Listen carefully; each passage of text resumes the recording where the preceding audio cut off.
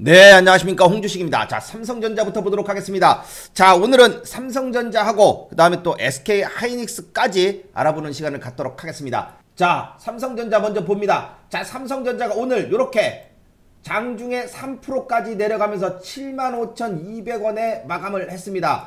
자, 이렇게 오늘 3% 내린 이유가 뭘까요? 자, 바로 삼성전자가 사상 첫 노조 파업, 사상 처음으로 삼성전자는 노조가 없기로 유명한 회사였습니다. 그렇죠. 그런데 자, 몇 년 전에 이제 노조가 생겼어요. 자, 그때 다들 우려를 했지만 자, 이렇게 딱 올라가려는 아주 아주 중요한 순간에 노조가 파업을 합니다. 어떻게 그렇게 타이밍을 정확하게 맞춰서 파업을 하는지. 자, 이것이 현대차처럼 뭐 툭 하면은 파업하고 그런 게 아니라 처음입니다. 예. 이게 툭 하면 파업하면은 그러려니 하고선 주가에 큰 영향이 없는데 이게 삼성전자기 때문에 삼성전자는 노조가 없기로 유명한 회사였는데 이것이 처음 노조가 생기고 나서 첫 파업이다 보니까 예, 요렇게 3%가 하락하는 모습입니다. 엔비디아도 어제 이렇게 올랐어요. 어제 엔비디아가 무려 장중에 8%까지 올랐습니다. 8%까지. 예. 엔비디아 날라가면은 최소한 갭을 뜨기 마련인데 자, 엔비디아도 올랐는데 삼성전자가 오늘 요런 파업 소식에 노조 파업이라는 소식에 3%가 밀렸지만 자, 그러나 걱정하지 마십시오. 자, 왜냐면 보통 노조 파업으로 인한 것은 예, 요 악재는 단기적입니다. 이 노조가 파업을 하면서 주가에 영향을 미치는 것은 예, 지금 처음이기 때문에 그 쇼크로 이렇게 내렸지만 요것은 보통 단기적인 악재이기 때문에 오히려 저점에서 또 한 번 반등의 기회가 온다. 자, 지금 삼성전자가 이렇게 보시면 요 RSI 지표요. 요 RSI 지표가 예, 삼성전자는 과매도권까지 안 들어가고요. 보통 한 35%, 30% 이하가 과매도인데 35% 정도만 내려가면은 과매도권으로 인식하고 보통 반등이 나옵니다. 자, 그렇기 때문에 이렇게 내린 것은 바로 파업 때문이다. 노조의 첫 파업 때문에 이렇게 내렸으니까 또 한 번 반등을 갖다가 줄 것이다. 이렇게 지금 볼 수 있겠습니다. 자, 그리고 또 중요한 것은 바로 이겁니다.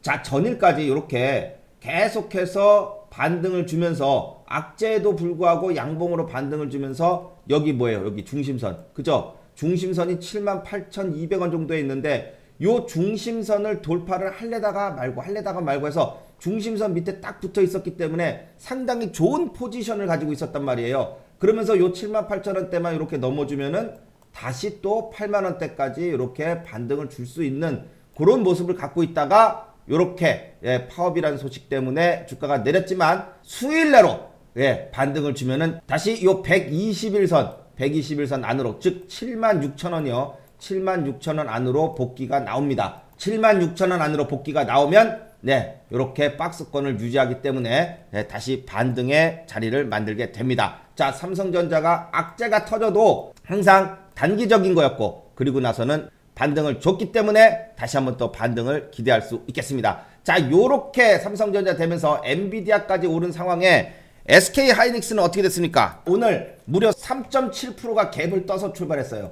엔비디아가 전일 8%가 올랐어요. 그러니까 SK 하이닉스도 엔비디아를 따라서 3.7% 높게 시가를 높이 떠서 출발을 했지만 국내 시장이 오늘 지수가 많이 내렸습니다. 자, 지수가 내리면서 SK 하이닉스도 일단 갭을 뜬 다음에 이제 음봉으로 내렸는데 자, SK 하이닉스는 그렇다면은 어디서 지금 하는 게 좋을까? 자, SK 하이닉스 계속 이렇게 간다 그래가지고 이 고점에서 사기에는 조금 부담스러운 자리가 될 수 있겠죠. 자, 그래서 지금부터 SK 하이닉스의 또 반등 포인트를 알려드립니다. 자, 이건 굉장히 오늘 영상에서 하이라이트입니다. 요걸 딱 보세요. 자, 삼성전자는 어디서 사면 된다 그랬어요? 여기 중심선. 그죠? 중심선에서 지지를 받고선 반등이 항상 나왔다. 자, 그런데 자, SK 하이닉스는 중심선이 아닙니다. 여기 안 옵니다. 짠! 바로 요 선입니다. 바로 여기 지금 제가 여기 만들어 놓은 자, 요 파란색 선 있죠? 요 파란색 선이 바로 뭐예요? 요게 요게 바로 예, SK 하이닉스 상승하는 날아가는 종목들 있죠. 날아가는 종목들이 바로 이 자리.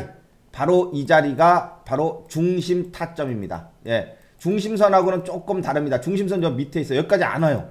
여기까지 안 오고 중심 타점이 바로 SK 하이닉스처럼 날아가는 주식들. 자, 보세요. 요렇게 자, 지금 SK 하이닉스가 지난 1년, 2년 동안 이렇게 날아갑니다. 자, 요렇게 갈 때에 자, 지금 보시면 것처럼 자, 제가 이렇게 크게 보여드리도록 하겠습니다. 자, 여기서 자, 여기서 반등 나왔고 여기서 반등 나왔고 자, 여기 보세요. 딱 찍으니까 반등 나오죠. 자, 여기서도 반등. 자, 그리고 또 자, 가다가 이렇게 닿으면 닿으면 계속해서 반등을 갖다 그려주면서 올라갔습니다. 자, 이렇게 계속해서 자, 지금 보시는 것처럼 전체적으로 1년을 봤을 때 상승 추세가 나오고 나서 그죠? 상승 추세가 이렇게 딱 나오고 나서 지금 이 상승 추세를 그리고 있는데 가다가 어떻게 됐습니까? 바로 여기 어디요? 중심 배수 타점이요. 중심선에 왔습니까? 안 왔습니까? 중심선 온 적이 없어요. 온 적이 없고 안 왔어요. 자, 요 파란색 선 바로 요 선에서 이렇게 반등이 기가 막히게 나오면서 계속 올라갔습니다. 자,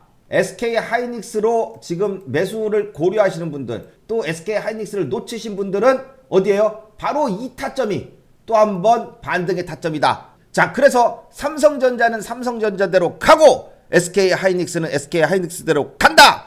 둘 다 간다 이거예요. 자, 결국 올해는 반도체가 계속해서 시장에 주도를 하고 있기 때문에 자, 이렇게 SK 하이닉스 요 일봉 중심 타점.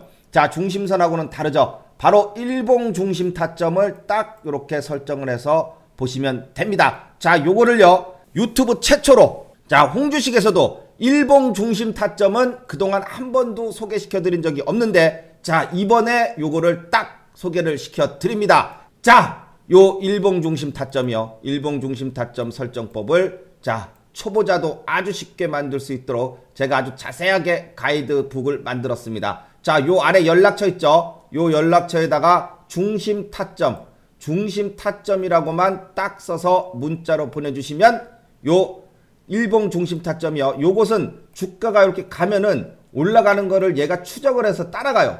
따라가서 가다가 눌리면은 딱 반등 나오고 가다가 눌리면 딱 반등 나오고 자 요렇게 하면서 요 중심 타점이 바로 뭐예요?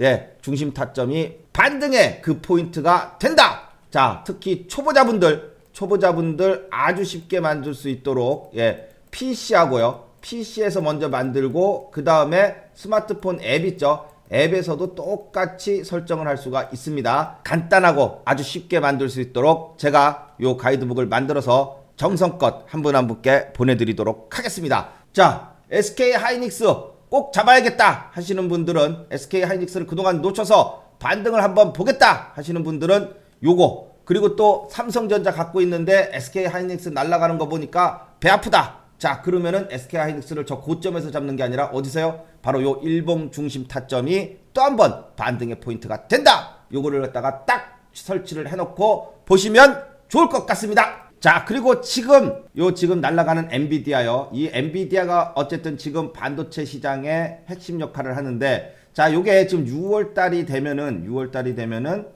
액면 분할이 들어갑니다. 액면 분할. 액면 분할하게 되면은 그 이후에 주가가 예, 보통 조정이 나왔습니다. 그 부분을 조금 참조해서 예, 보시면 좋을 것 같습니다. 자, 액면 분할 이후에 엔비디아의 움직임에 따라서 또 국내 삼성전자와 SK 하이닉스에도 영향을 줄 것으로 보여집니다. 자, 그래서 엔비디아가 액면 분할한 다음에 어떻게 될 것이냐? 보통 액면 분할을 하게 되면은 주가가 예, 당일은 칩니다만 자, 왜냐면 착시 현상 때문에 천비, 천 달러가 넘어가니까 비싸단 말이에요. 그래서 이것을 액면 분할하게 되면은 싸지니까 착시 현상 때문에 올랐다가 그게 고점으로 인해서 그다음부터 주가가 조정이 나올 가능성이 있다 이겁니다. 그러면 그때가 주가가 또 내렸다가 다시 반등을 하거든요. 요렇게 내렸을 때가 이때가 최고의 매수 타점이 될 수 있다. 지금 그 얘기를 하는 겁니다.